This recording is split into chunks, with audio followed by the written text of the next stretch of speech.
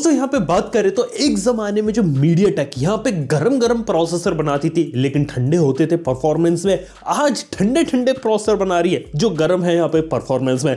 जी हाँ दोस्तों, आज मैं बाप से बात करने वाला हूँ मीडिया टेक प्रोसेसर में।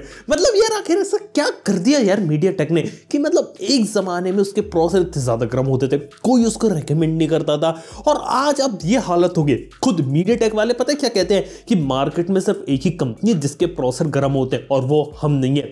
सीधा सीधा बात बताओ कॉलकॉम की तरफ़ इशारा कर रहे थे स्नैपड्रैगन ट्रिपलेट और एट जेन वन में जो हीटिंग हो रही है, उसके बारे में। तो चलिए दोस्तों, आज बात करते हैं आखिर इसके बारे में कि आखिर स्नैपड्रैगन जहाँ गर्म होता जा रहा है, वह मीडिया ठंडे प्रोसेसर भी निकाल रहा है, लेकिन परफॉर्मेंस भी अच्छी दे रहा है, और लग रहा है कि डिमेंसिटी नाइन पहली बार शायद कॉलकॉम स्नैपड्रैगन से आगे निकल जाए। वेल well, इस वीडियो में इसी के बारे में बात करते हैं पता लगाते हैं पीछे की सच्चाई क्या चल रही है। तो वीडियो अगर आप लोग को पसंद है तो लाइक कर देना चैनल को सब्सक्राइब कर देना। सबसे पहले एक इंपॉर्टेंट बात बताने वालों की मीडिया के प्रोसेसर में गर्मी कहाँ से आती थी। देखो ऐसे कोई नई चीज़ नहीं कि मोबाइल फ़ोन के प्रोसेसर गर्म ही नहीं होते। देखो हर मोबाइल फ़ोन का प्रोसेसर कहीं ना कहीं गर्म होता है। अब काम वो करेगा तो थोड़ा बहुत गर्मी होगी। अगर आप गेम खेलोगे तो पीछे का हिस्सा थोड़ा ज़्यादा वार्म होगा।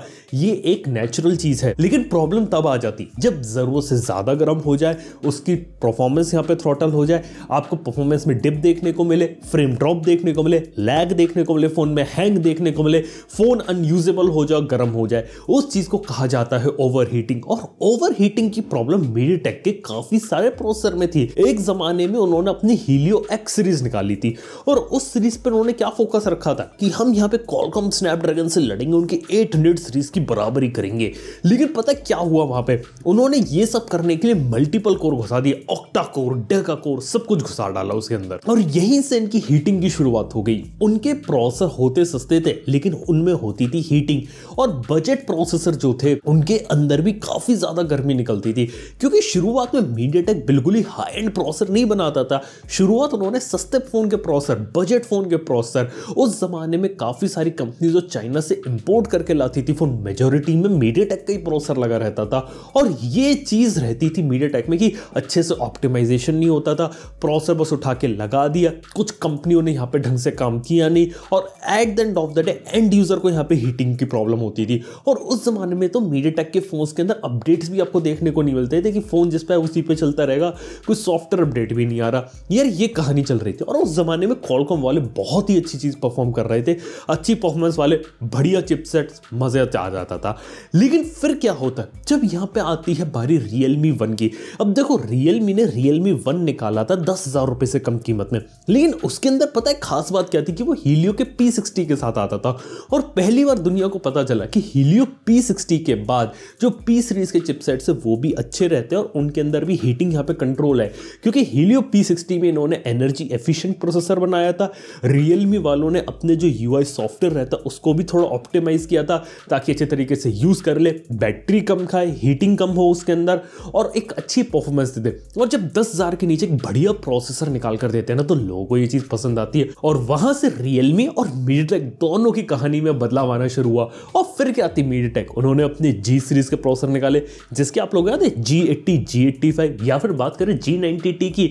देखो, उनका मेन एम यहाँ पे ये था कि गेमर्स के लिए मार्केट बढ़ रहा है। तो एक अच्छा प्रोसेसर बनाते हैं, जिसके अंदर एक अच्छा सीपीयू जीपीयू दोनों और एक गेमिंग एक्सपीरियंस ले ले, सस्ते प्राइस के अंदर। ये उनका मेजर कंसेप्ट था और G eighty G eighty five वाले काफ़ी अच्छे फ़ोन हमें देखने को ले, जिनमें दस ग्यारह हज़ार रुपए में अच्छा गेमिंग का मज़ा लिया जा सकता है। जी नाइनटी टी जब आया था तो ये भी काफ़ी अच्छा चिपसेट था। उसके अंदर भी प्रोसेसर तो ऐसा था कि सेवन एट सीरीज़ से यहाँ पर टक्कर ले रहा था और एक अच्छा जीपीयू होने कारण आपको एक अच्छा गेमिंग का एक्सपीरियंस था। फिर इसी में क्या हुआ? जी सीरीज़ के बाद जी नाइनटी फाइव निकाला। अभी जी नाइनटी सिक्स को निकाल दिया, थोड़े बहुत मॉडिफिकेशन वगैरह करके। जी एट्टी फाइव उनका चल रहा था तो जी एट्टी एट को उन्होंने निकाल दिया। जी सीरीज़ उनकी सक्सेसफुल थी। ना हीटिंग होती थी, लेकिन इनके अंदर एक अच्छा गेमिंग का और परफॉर्मेंस का एक अच्छा एक्सपीरियंस ले सकते थे। और यहाँ पे बजट सीरीज़ के अंदर यहाँ पे कॉलकॉम को काटना इन्होंने शुरू किया। लेकिन कहानी में असली ट्विस्ट तो अब आने वाला था। पता है वो कैसे? क्योंकि अब यहाँ पे मीडिया टेक फाइव के अंदर उतर रही थी। हाँ क्वालकॉम वालों ने फाइव की शुरुआत करी थी। पहला फाइव प्रोसेसर निकाला फाइव के शुरुआती मोडेम उन्होंने निकाले, सब कुछ उन्होंने यहाँ पे कर रहे थे। लेकिन मीडिया टेक ने डिमेंसिटी के साथ खेल अलग खेला। उन्होंने ये नहीं सोचा कि हमें सबसे बेहतरीन सबसे महँगे प्रोसेसर में फाइव डालना है। अगर आप उनकी पूरी डिमेंसिटी लाइनअप देखोगे ना तो डिमेंसिटी में सभी प्रोसेसर के रेट यहाँ पे कम है और जो अफोर्डेबल चिप्स आते हैं, जैसे डिमेंसिटी सेवन के बारे में बात करें, वो देखा तो सेवन की टेक्नोलॉजी पे बेस्ड है। कॉटेक्स का ए का कोर देखने को मिलता है। और ओवरऑल बात करें तो 5G का इंटीग्रेटेड मोडेम है।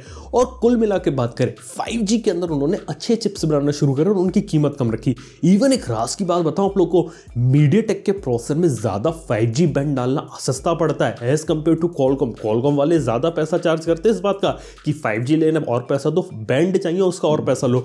डिमेंसिटी में खर्चा कम आता है, इसलिए अब देखो मीडिया डिमेंसिटी वाले ज़्यादातर फ़ोन में आपको मल्टीपल फाइव जी बैंड देखने को मिल रहे थे, जबकि कॉलकॉम स्नैपड्रैगन में सिंगल एक, दो, तीन का ही खेल चल रहा था। ये एक काफ़ी बड़ी चीज़ हो जाती है। और इसलिए डिमेंसिटी वाली लाइनअप के फ़ोन यहाँ पॉपुलर होना शुरू हुए, क्योंकि यहाँ पे लोगों को चाहिए तब बजट में 5G और मीडियट डिमेंसिटी ने ये चीज़ करना शुरू कर दी। और देखा है तो बिलो तीस के अंदर अच्छे 5G फ़ोन मीडियट डिमेंसिटी के कारण ही देखने को मिले, यानी कि पावर और परफॉर्मेंस का एक अच्छा मिक्सचर और यहाँ से फिर उन्होंने अपने थोड़े बेटर चिप्स निकाले डिमेंसिटी वन थाउज़ेंड प्लस या फिर डिमेंसिटी बारह की क्यों ना बात कर ले। देखो, ये कुछ ऐसे चिप्स थी, यहाँ पे लोग क्वालकॉम के हाई एंड प्रोसेसर से कंपीट करना चाहते थे, लेकिन फिर भी जो मीडियम डिमेंसिटी 1200 है ना, ये कॉलकॉम की हाई एंड प्रोसेसर से कंपीट नहीं कर पा रहे। ये यहाँ पे कंपीट कर पा रहे जो बीच के जो मिड रेंज होते हैं। जैसे कि बात करें डिमेंसिटी 1200 को जो घरता है, उसकी कीमत ऑलमोस्ट बराबर आती है सेवन के। और सेवन से लेकिन बेटर यहाँ पे सीपीयू जीपीयू की परफॉर्मेंस देता है।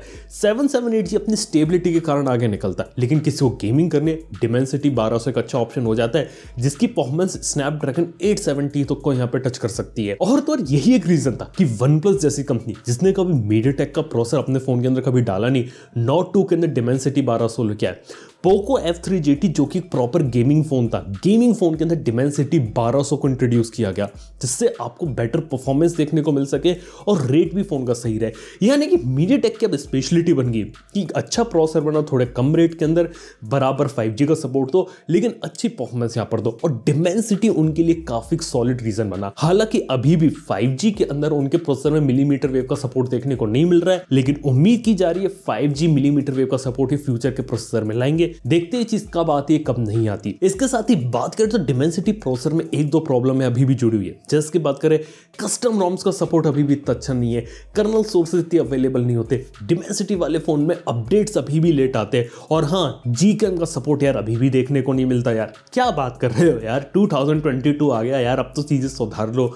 ये कुछ चीज़ें जहाँ पे मीडिया टेक को अभी भी काम करना बाकी है। लेकिन वहीं बात करें डिमेंसिटी 9000 से यहाँ पे चीज़ों में बदलाव आना शुरू हो गया है। क्योंकि अब लग रहा है कि यहाँ पे स्नैपड्रैगन एट जेन वन से यहाँ पे डायरेक्टली कंपीट कर रहे हैं। क्योंकि बात की जाए तो डिमेंसिटी 9000 आएगा Q2 2022 के अंदर।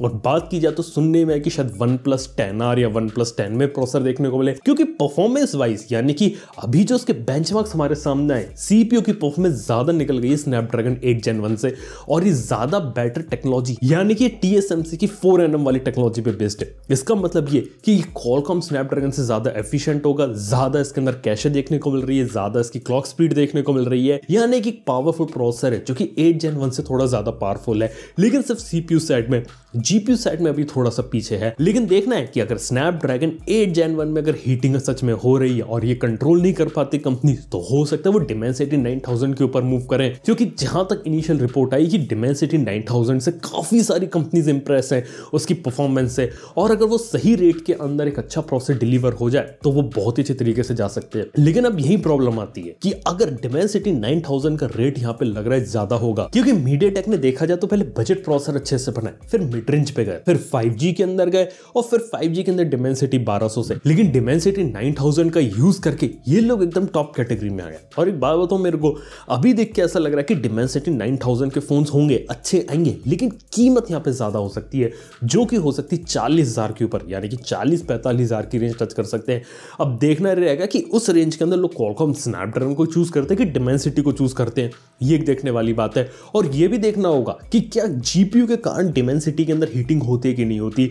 तो एक चीज़ है डिमेंसिटी नाइन थाउज़ेंड के ऊपर अपनी आँख बनाए रखना। अच्छे फोन्स उसके आने वाले, काफ़ी सारे वन प्लस के फोन्स में देखने को मिल सकता है। और तो और बात करें तो इसके नीचे लेवल के डिमेंसिटी एट थाउज़ेंड जैसे प्रोसेसर भी यहाँ पे आने वाले। तो वो एक चीज़ है। यानी कि पहले एक जमाने में क्या होता था? मीटेक के प्रोसेसर में बैटरी ज़्यादा खाते थे, वो प्रॉब्लम सॉल्व हो गई। लेटेस्ट टेक्नोलॉजी देखने को नहीं मिलती थी, वो प्रॉब्लम सॉल्व हो गई। मीटेक के प्रोसेसर बहुत ही ज़्यादा यहाँ पे हीटिंग करते थे, वो प्रॉब्लम खत्म हो गई। ऐसे बाकी प्रॉब्लम को भी अगर ये लोग खत्म कर दे तो वो काफ़ी बेटर चीज़ है।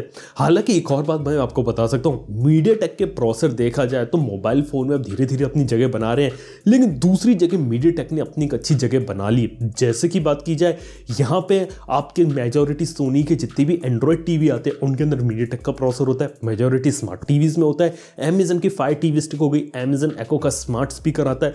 इन सब के अंदर आपको मीडिया टेक के चिप्स ही देखने को मिलते हैं। तो देखा तो मीडिया ने अपनी अच्छी जगह बना ली है, लेकिन at the end of the day सिर्फ़ एक चीज़ मायने रखती है कि अगर ये लोग अच्छा प्रोसेसर बना ले, वो मैटर नहीं है।